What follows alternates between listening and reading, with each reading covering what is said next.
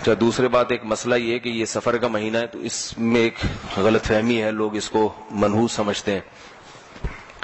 یہ بھی وہمی ہونے کی دلیل ہے انسان کے۔ جس چیز کے منحوس ہونے کی کوئی شریعت میں دلیل نہیں ہے، نہ کوئی اس کی سائنٹیفک دلیل ہے، نہ شریعت کی۔ کوئی سائنسدانوں نے تحقیق کی ہو کہ اس مہینے میں کچھ مخصوص قسم کی ریز نکلتی ہیں، تو بھی ہم مان لیں کہ چلو بھائی سائنسدان کہہ رہے ہیں۔ اور سائنسدان نہیں کہتے تو پھر ہم، ہمارے پاس ایک دوسرا ذریعہ کیا ہے؟ پیغمبر کی بات، بلکہ وہ پہلا ذریعہ ہے۔ سب سے پہلے پیغمبر کی بات، تو پیغمبر صلی اللہ علیہ وسلم سے بھی سفر کے بارے میں کہیں بھی نہیں ہے کہ منحوس ہے۔ اسلام میں نہ کوئی دن منحوس، نہ کوئی مہینہ منحوس۔ برکت والے دن تو ہیں جن میں اضافی برکتیں نحوست کسی دن میں نہیں ہے۔ تو اس لیے اس مہینے کو منحوس سمجھنا یہ بدت ہے، غلط ہے۔ اور یاد رکھے جو آدمی وہمی ہوتا ہے، اللہ کے معاملات پھر اس کے ساتھ ایسے ہی ہوتے ہیں۔ تو اس لیے ایک دفعہ ہمت کریں کہ اس مہینے کو منحوس سمجھنا چھوڑ دیں۔ شیعہ لوگ اس مہینے کو منحوس سمجھتے ہیں۔ محرم میں بھی شادی نہیں کرتے، سفر میں بھی نہیں۔ تو ان کو کر سمجھنے دیں، کیونکہ ان کا مسئلہ کہ یہ۔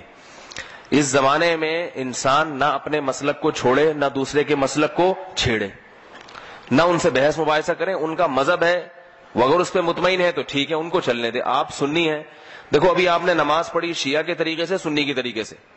سنی کے طریقے سے۔ امام بارگاہوں میں جو جمعے کی نمازیں ہوئی شیعہ لوگوں نے پڑھی وہ کس طریقے سے؟ شیعہ والے طریقے سے۔ تو آپ نے کوئی جا کے ان کو پریشان کیا کہ یہ یہ تم کیوں کر رہے ہو؟ وہ اس لیے کہ بھائی وہ ان کا مسلک ہے، ایسے ہی کر لیں دے آپ کا مذہب جیسے تھا، آپ نے ایسے پڑھ لی۔ تو صرف نماز میں نہیں، باقی چیزوں میں بھی ہونا چاہیے۔ ان کا مذہب ہے، محرم اور سفر کے مہینے کو منوس سمجھتے ہیں، اس میں شادی نہیں کرتے، سنی مذہب نہیں ہے یہ۔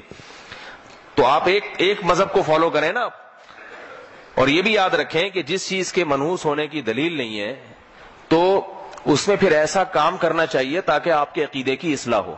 دیکھو، بنی اسرائیل کو اللہ نے گائے ذبح کرنے کا حکم دیا ہے۔ کوئی اور جانور بھی تو کہہ سکتے تھے ذبح کرو۔ اس کی حکمت بعض علماء نے بیان کی ہے کہ جیسے ہندوؤں میں گائے کو ماتا سمجھا جاتا ہے نا، تو یہ بہت پرانا ہے۔ گائے کی عبادت قدیم زمانے سے ہوتی آ رہی ہے۔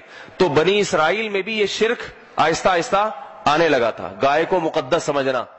اس لیے اللہ نے حکم دیا کہ صرف اتنا کافی نہیں ہے کہ گائے کو من جو ہے معبود سمجھنا چھوڑ دو۔ اتنا کافی نہیں ہے۔ بنی اسرائیل تو حضرت موسا پر ایمان لائے تھے نا۔ تو وہ گائے کو تھوڑی خدا سمجھتے تھے۔ لیکن اللہ نے کہا، اتنا نہیں، اس کو اپنے ہاتھ سے گلا کاٹو گائے کا۔ ذبح کرو۔ کیونکہ جس کے دل میں ذرا سا بھی وہم ہوگا نا، وہ گلا کم از کم نہیں کاٹے گا کہیں ایسا نہ ہو، گائے ماتا بدوا دے اور میرے سارا ہی بیڑا گرک ہو جائے۔ تو اللہ نے کیا کہا؟ گلا کاٹو اس گائے کا، ذبح کرو۔ گائے ذبح کرو۔ تبھی بری اسرائیل نے ہیل حجت کہ دل میں تھوڑا سا کہیں چور چھپا ہوا تھا کہ گائے نہیں، بکری کاٹ لیں گے، دمبا کاٹ لیں گے۔ یہ گائے کا کیوں کہا جا رہا ہے؟ اس کی مثال ہے، جیسے کوئی ہندو اسلام قبول کرے، بقرعید کے دن اس کی پہلی کوشش تو کیا ہوگی؟ گائے کے علاوہ کوئی چیز ذبح کر لوں میں۔ کیونکہ ایک طویل عرصے سے گائے کی محبت اس کے دل میں پیدا ہو چکی۔ اب آپ پہلے ہی مہینے اس کو کہتے ہیں گائے کاٹو۔ تو کہے گا ٹھیک ہے، گائے کاٹنے سے نقصان تو نہیں ہوگا، لیکن اگر ہو گیا، ہمارے سارے بزرگ صدیوں سے کہتے آئے ہیں گائے ماتا ہے، تو وہ کوشش کیا کرے گا کہ گائے کے علاوہ کچھ بھی کٹوا لو۔ تو اس لیے اللہ نے کیا کہا بنی اسرائیل کو؟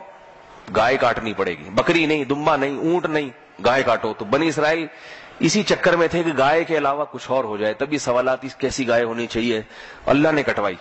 تو یہ جب تک دماغ سے انسان کے فاسد عقیدہ نہیں نکلتا، جب تک کہ اس کی علاج خود نہیں کرتا، تو محرم اور سفر میں شادیاں کیا کریں، تقریبات محرم سفر میں رکھا کریں، اس سے آپ کے دماغ میں یہ جو خناس بھرا ہوا ہے نا کہ یہ منحوس ہے یہ یہ, یہ دماغ سے نکل جائے گا۔ باقی کسی دوسرے کے مذہب کو چھیڑنے کی ضرورت نہیں ہے۔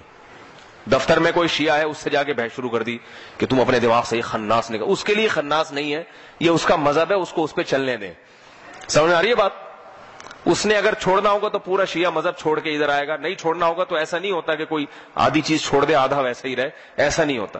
اس کو کہیں تمہیں اگر یہ سمجھ میں آتا ہے تو ٹھیک ہے، تمہاری مرضی، قیامت کے دن تم اگر سمجھتے ہو کہ اللہ کو ہم جواب دے دیں گے تو ٹھیک ہے۔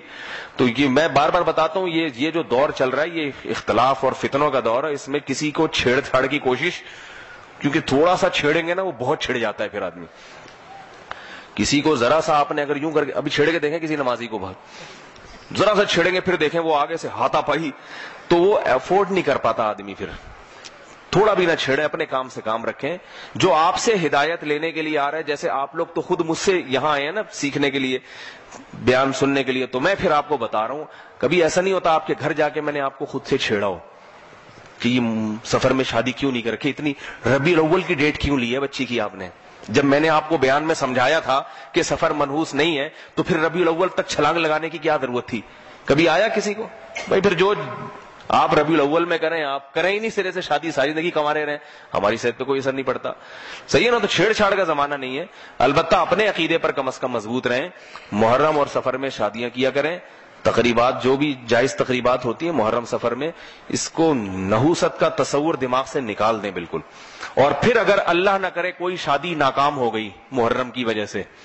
یعنی محرم کی وجہ سے تو نہیں ہوگی، محرم میں کیا اور شادی ناکام ہو گئی اتفاق سے، تو یوں نہ کہیں کہ محرم کی وجہ سے ہوئی ہے۔ یہ سوچیں جس کی ربیع الاول میں ہوئی تھی، اس کی کون سی کامیاب ہوئی ہے؟ آج کل کہاں شادیاں کامیاب ہو رہی ہیں؟ شادی کامیاب کرنے کے لیے محرم سفر کی بات نہیں ہوتی، اس کے لیے میاں بیوی میں میچنگ اور دونوں کی ماں باپ نے کیا تربیت کی ہے، کیسے یہ ساری چیزوں کا دخل ہوتا ہے، اس کا محرم یا سفر سے کوئی تعلق نہیں ہے۔